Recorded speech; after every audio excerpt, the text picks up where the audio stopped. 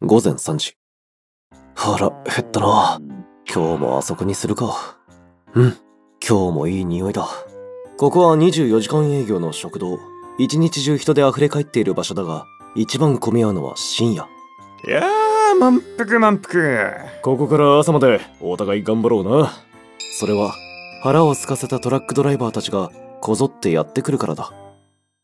愛じゃ描けない。GM はハイナビ PU ならトニーオーバーヒー。Yeah 24時間営業でトラックドライバーを支える食堂の実態とは？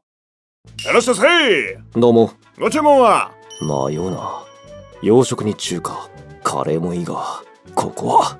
カツ丼一つ。カツ丼一丁。えちゃんぽん麺お待ち。刺身定食お待ちこの中で一品しか選べないのは一種の苦行だな。カツ丼お待ち！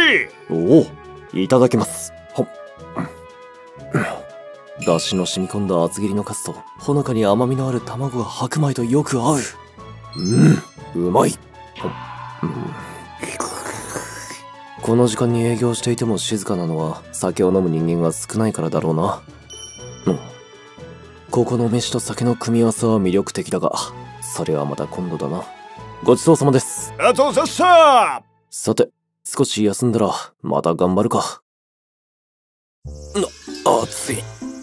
車の中は冷房で快適だが、一歩外に出ると地獄だな。ああちょっせ相席になりますがよろしいですか？あ、構わない。ではあちらのお酒をどうぞ失礼するぞ。あお疲れ様今日は大阪？ああ、その後広島まで。って、どうしてドライバーだってわかるんだ？ここで何回か見かけたことあるもん深夜に何度も来るような人は大体トラックドライバーだよそれもそうか。ご注文は？今日は、そうだな。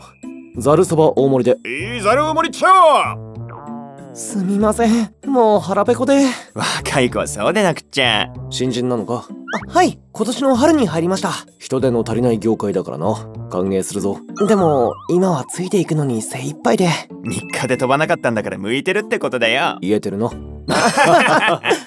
お待たせしましたハンバーグ定食牛丼つゆだく。ざるそば大盛りです。来た来た。美味しそう。じゃあ早速。いただきます。うわ美味しいです。あいい食べっぷりだね。新人だった頃を思い出すな。君は何年目になるの？10年目だな。10年？あのどうしてドライバーになろうと思ったんですか？まあ、一人が向いてるから、かな。へえ僕と似てるね。お前もなのか？ドライバーなら上司に監視されないからサボり放題でしょ。それと一緒にするなよ。でも実際に働き出したら超大変じゃん。肉体労働だしな。この店がなかったらやってられないよ。それは言えてる。ああおい、大丈夫か？満腹になったらちょっと。えーこちらどうぞえ頼んでませんけど。深夜限定のサービスです。いいんですか？うちはドライバーさんに支えられてますから。ありがとうございます。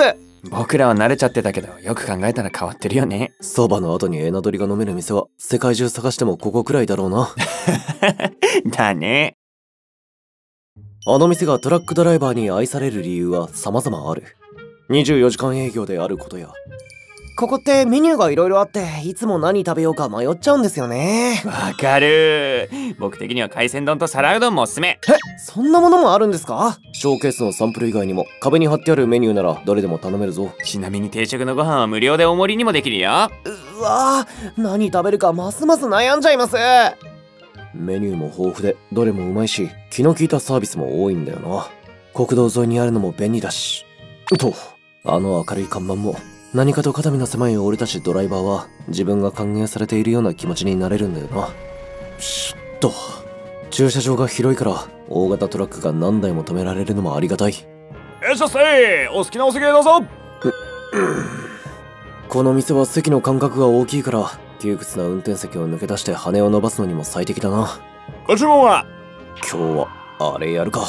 焼肉カツ丼お願いできるか。喜んで焼肉カツ丼一丁あそしてご注文はビールとサバ味噌。かしこまりました。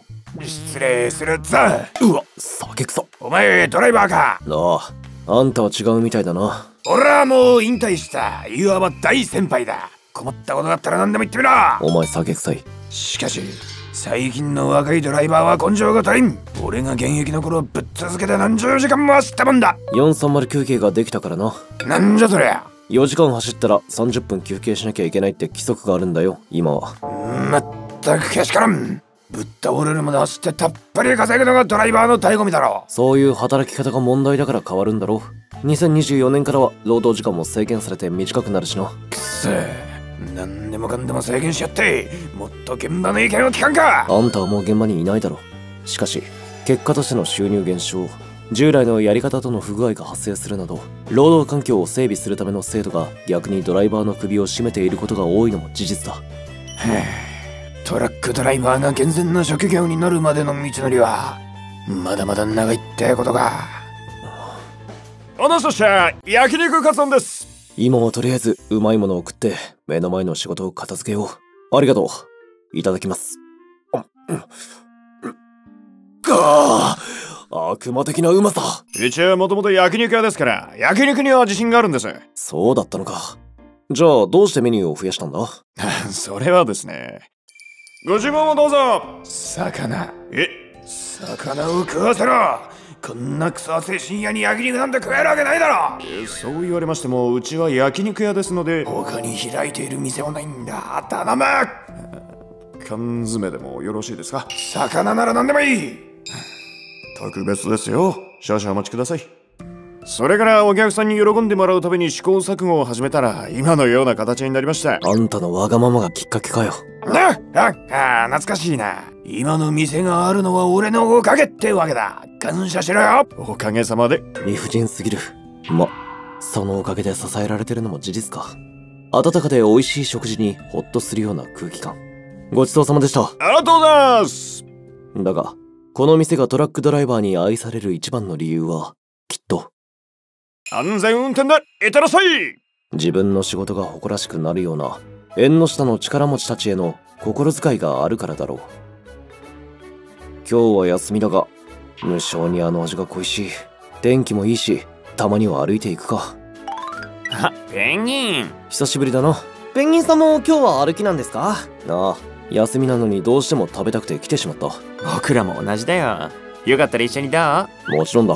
いらっしゃいませ。ご注文は？ま歩きで来たんだったら。最初に頼むものは決まってるよね。もちろんです。とりあえず生で。かしこまりました。今日は飲むぞ。ー次の仕事まで残らない程度にな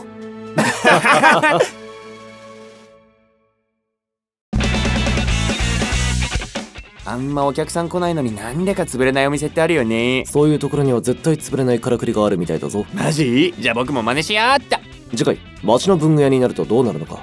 絶対に潰れない理由とは？ちょっと！店に隠し扉作ったのに潰れたんだけど！そういうからくりじゃない。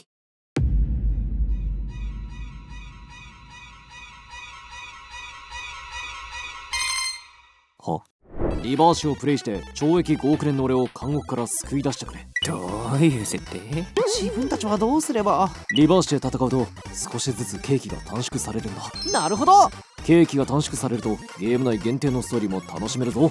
早く帰ってこい。お前がいないと仕事が回らん。みんなのペースで助けてくれ。抵抗ペンギンのゲームアプリ第3弾。テレペンリバーシ概要欄からダウンロードしてくれよな。